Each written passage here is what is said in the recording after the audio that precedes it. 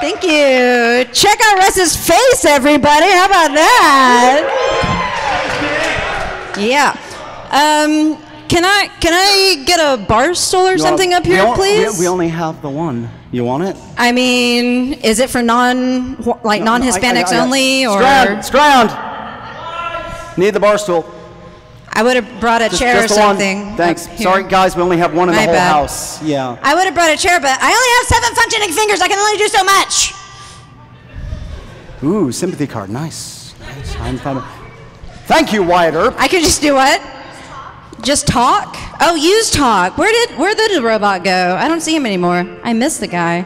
Yippee ki Hey, thank you so much. All right, how's it going, Open Stage? This is my first time here.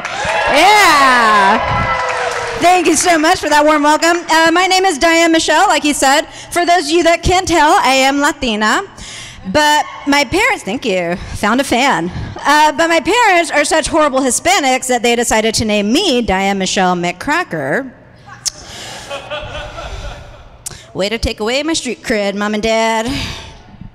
Like, they didn't even give me a chance to be a ghetto Latina, you know what I mean? Like, what if I wanted to join a gang? Or get pregnant in middle school? Sharpie on my eyebrows. I guess they saw how all my cousins were raised before me, so they basically raised me to be like the anti-chola, you know? Like, yeah, like they didn't. There was no alcohol at my quinceañera, which I didn't know that was even a possibility. And uh, they put me in private school at a really young age, uh, so I've been hanging out with the whites since I was five. Sorry. It's okay. You guys look so. Co- y'all are like y'all don't want stand-up comedy. Y'all want like lie down comedy. Like that's awesome. I'll just I'll just join you guys. So um. Oh my God, this is so comfortable and awkward at the same time. So um. Yeah, whenever we moved to Dallas, you could tell that our family, we threw off uh, the Caucasians, right? Because it was like we looked different than them. But, uh, like, we were the only Hispanics on the block that lived inside a house, not just working on it, you know?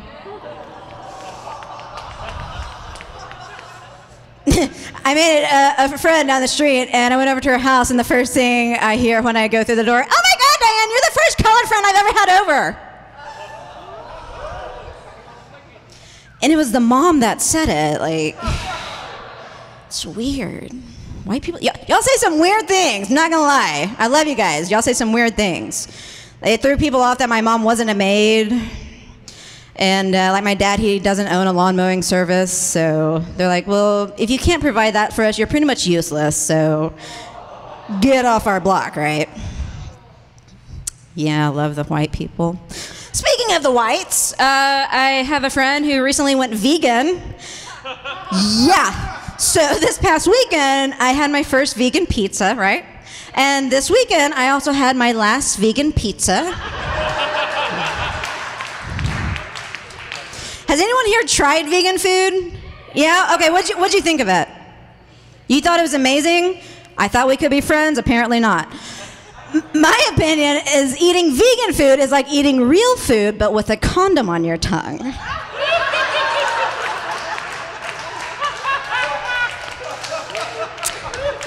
I'll let that image marinate with you guys for a second.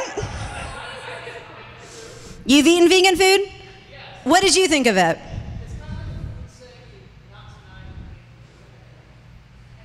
Okay, I can see that analogy. I prefer the condom on a tongue, but we can use yours too. That's absolutely accurate too. We'll talk after the show. So, now, and then the worst part was when the bill came, the server had the audacity, she had the balls to say, Your total's $18. Say, um, hey, why? like, if you're gonna charge me $18 for a pizza, you would think it would come with like, um, like flavor or something, right? It was horrible. So basically, I'm down one friend this week, so whatever. Yeah, so uh, I'm sure a lot of you are wondering about my hand. Uh, I am a loud and proud burn survivor. That's the correct response, thank you. Um, no, okay, see, what happened was Uh, you know, whenever you're, you're, you've been drinking a lot and you get so drunk you accidentally drop your drink, right? This chick knows exactly what I'm talking about, yeah. And then you reach into a bonfire and pick it back up.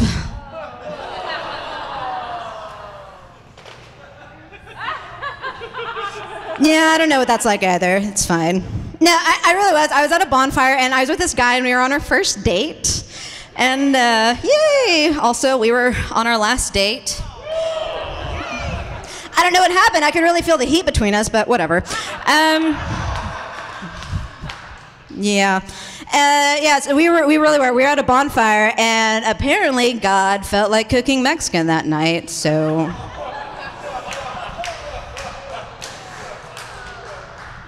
And surprisingly, when a Mexican catches on fire, it does not smell like fajitas. It just smells like alcohol, Xanax, parent shame.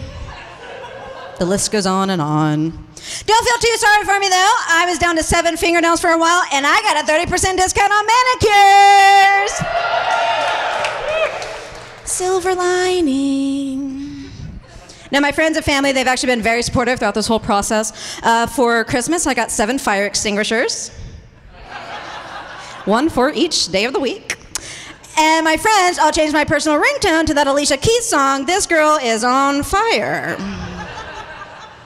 Because I have a bunch of assholes for fucking friends. Yeah, this one right there.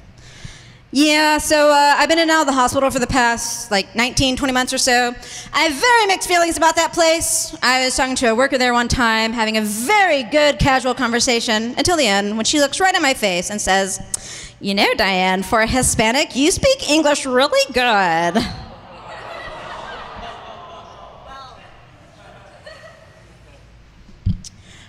Okay, first of all, skinny white bitch. Is for a Hispanic, I speak English really well.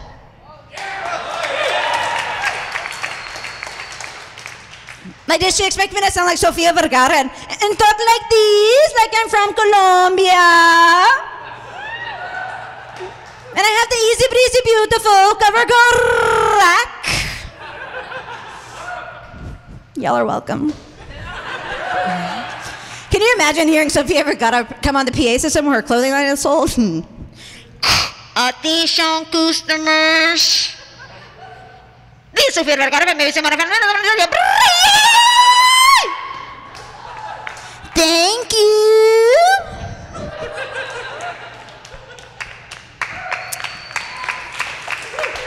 Thank you, thank you, yeah. So, yeah, a lot of things changed for me after I got burned. I had to slow a lot of things down in my life. I had to step away from the dating scene for, well, not so much had to step away as I just chose to be happy. But, uh, I, I was dating this one guy, well, not so much dating as we were penetration partners, but, uh, they know exactly what I'm talking about. Because you're whores too. Yeah. Yeah, they are. Absolutely. No, we. Uh, I, I got really bummed actually because he said the wrong thing in bed. You know, those, those three words that ruin everything. We should date. Yeah. But he convinced me. He was like, I want to take you someplace special, someplace nice and memorable. So we're at the bar top at Applebee's. Close, yeah.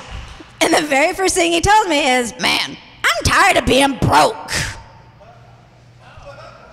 Wow, you're very good at this dating thing. No, no, I mean, you can still order whatever you want. I'm just saying, I ain't pulling in a whole lot of money right now.